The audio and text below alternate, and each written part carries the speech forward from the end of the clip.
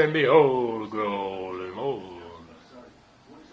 All night C-SPAN went on about uh, people finding that the modern economy is not so hot.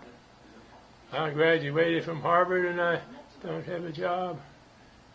Most of them seemed but black too, and they were taking all these really short-term explanations for what was going on. People ought to remember. We go back to the Second World War with this event. We win the war, and in effect conquer the world. First nation to do that. And uh, well, there's this prosperity. Before the war, nobody had any money. It was depression. Now, after the war, everybody's lots of money.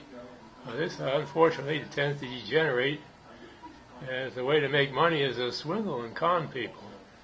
And after about 19, late 1970s, about all that was left was the swindlers and the con men.